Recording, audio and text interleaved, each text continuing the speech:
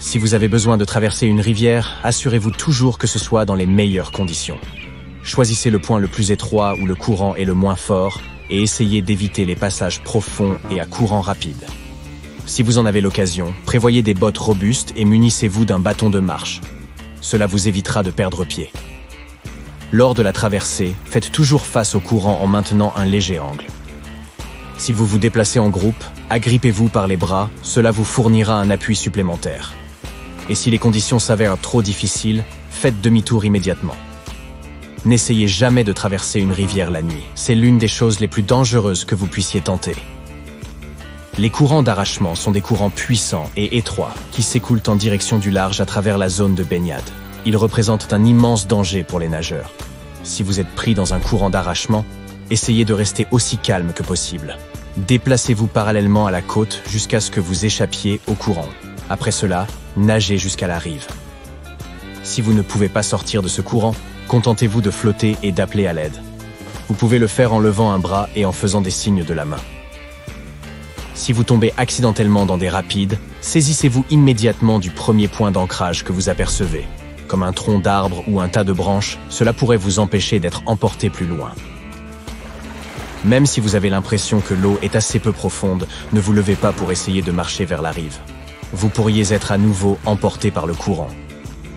Essayez plutôt de nager le long de la rivière, tout en vous rapprochant de la rive. Ou vous pouvez flotter sur le dos avec vos pieds pointés vers l'aval, de cette façon, votre tête sera mieux protégée. Une fois que vous atteignez une zone plus calme, retournez-vous et nagez en diagonale vers la terre ferme. Si vous vous trouvez en mer et que vous apercevez un tourbillon qui se rapproche de vous, ne paniquez pas. Si vous avez compris dans quel sens il tourne, longez-en le bord et utilisez le courant du tourbillon pour vous catapulter hors de danger. Si vous commencez à lui résister, vous risquez fort d'être aspiré à l'intérieur mais il y a aussi une chance qu'un tourbillon s'estompe ou devienne plus faible en approchant du fond. Donc, si vous y êtes piégé, prenez une grande inspiration et attendez une chance de nager vers le haut et de vous en éloigner. Si vous vous approchez du bord d'une chute d'eau et réalisez que le grand plongeon est inévitable, inspirez profondément juste avant d'être précipité dans le vide et préparez-vous à la chute. Essayez de positionner votre corps de manière à ce que vous descendiez avec vos pieds en premier Serrez votre tête dans vos bras, avec les coudes pressés contre votre nez. C'est une façon relativement efficace de le protéger de l'eau. Ensuite, contractez vos muscles et serrez vos jambes et vos pieds ensemble. N'oubliez pas de fermer la bouche et les yeux. Une fois que vous touchez l'eau au bas de la cascade, commencez à vous en éloigner avant même de remonter à la surface. Si vous êtes tombé à l'eau depuis un navire, tout d'abord, Scrutez la zone autour de vous pour voir si un objet flottant n'est pas également tombé. Ce peut être une frite de piscine ou une bouteille en plastique. Nagez vers cet objet. Si vous avez la chance de porter un gilet de sauvetage, nagez de côté ou pratiquez le dos crawlé par intervalles brefs pour économiser de l'énergie. Une fois que vous atteignez l'objet, cramponnez-vous et ne le lâchez pas. Si vous apercevez quelque chose de voyant dans l'eau, conservez-le. Jaune, orange ou rouge. Ces couleurs sont parmi les plus visibles. Elles peuvent aider les sauveteurs à vous repérer. Vous devez ralentir le rythme auquel votre corps se refroidit. Vous pouvez y parvenir en flottant et non en nageant. Dans des eaux calmes, vous pouvez flotter horizontalement avec vos genoux relevés contre votre poitrine. Si les conditions sont agitées, il vaut mieux flotter verticalement, en vous concentrant sur le fait de ne pas avaler d'eau. Si vous commencez à remuer beaucoup, l'air emprisonné dans vos vêtements et vos chaussures se dispersera, réduisant votre capacité à flotter. Restez donc aussi immobile que possible. Les tsunamis se produisent souvent après de graves tremblements de terre, dans des régions présentant de grandes étendues d'eau. La chose la plus dangereuse à leur sujet est qu'ils se déplacent extrêmement vite et inondent souvent des zones peuplées sans aucun avertissement. La première chose que vous deviez faire est de vous éloigner le plus possible du rivage et de trouver un terrain plus en hauteur. Le mieux serait de vous élever d'au moins 30 mètres au-dessus du niveau de la mer.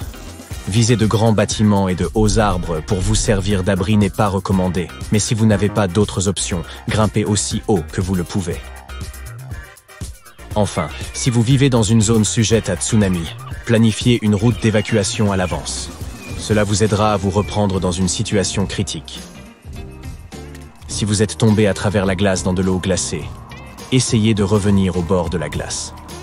N'essayez pas de ressortir en la saisissant. Le bord continuera de se briser, et vous vous épuiserez en un rien de temps. Battez des jambes jusqu'à ce que votre corps soit positionné horizontalement dans l'eau. Après cela, extirpez-vous de l'eau et montez sur la glace comme un phoque. Une fois que vous y serez parvenu, ne vous levez pas. Restez étalé au sol. De cette façon, votre poids sera réparti sur une surface plus grande. La glace sera ainsi moins susceptible de se briser. Si vous tombez d'une falaise, faites de votre mieux pour diviser votre chute en plusieurs étapes.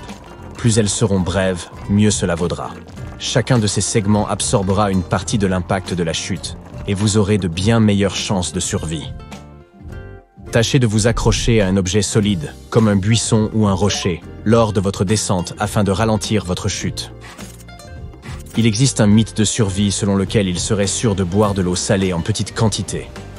Mais une telle erreur peut avoir des conséquences dramatiques.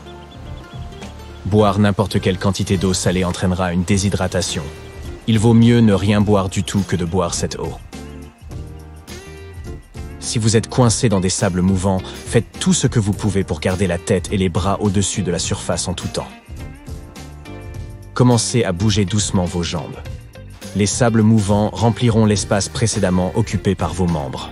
Ensuite, allongez-vous sur le dos. Cela augmentera la surface de votre corps. Continuez à faire de petits mouvements jusqu'à ce que vos jambes soient libres. Vous pouvez également effectuer des mouvements de dos crawlés avec vos bras. Cela vous aidera à dégager vos jambes. Essayez de déplacer votre poids sur votre jambe droite et secouez doucement votre pied gauche en le rapprochant lentement de la surface. Une fois que vous avez réussi, posez votre genou sur la surface du sable de manière à ce qu'il vous supporte. En déplaçant votre poids sur votre genou gauche, secouez doucement votre jambe droite jusqu'à ce que vous puissiez vous agenouiller tout à fait. Après cela, éloignez-vous du sable. Assurez-vous de ne pas tirer sur vos jambes avec trop de force car vous pourriez ainsi vous déchirer des ligaments. Une idée répandue voudrait que, si vous vous trouvez perdu dans la neige sans eau potable à portée de main, Manger cette neige serait le meilleur moyen de vous réhydrater. C'est malheureusement faux, et manger de la neige peut accélérer votre déshydratation. Dès que vous mettez de la neige dans votre bouche, votre corps doit entamer un processus destiné à la faire fondre à et la réchauffer. Pour ce faire, vous aurez besoin de dépenser beaucoup d'énergie, et cela vous fera perdre des fluides plus rapidement. De plus, consommer de la neige peut entraîner l'hypothermie. Cette condition est deux fois plus dangereuse si vous vous trouvez seul. Il y a aussi des chances que la neige contienne des bactéries pouvant vous rendre malade. Mais si vous n'avez aucune autre solution, faites fondre la neige que vous allez consommer dans vos mains au préalable. Et gardez-vous de consommer une neige qui ne semble pas fraîche et blanche. Si vous êtes perdu dans la nature, trouvez un ruisseau ou un petit cours d'eau et suivez-le jusqu'à ce qu'il se jette dans une rivière plus grande. Cela devrait vous mener à une région plus développée et habitée où vous pourrez obtenir de l'aide. Mais ne succombez pas au mythe selon lequel vous pourriez boire de l'eau si vous voyez des animaux en boire. Si vous parvenez à trouver une source d'eau, vous devez d'abord la purifier. Votre corps est très différent de ceux des animaux. Et si vous ne purifiez pas cette eau avant de la boire, vous pourriez tomber gravement malade.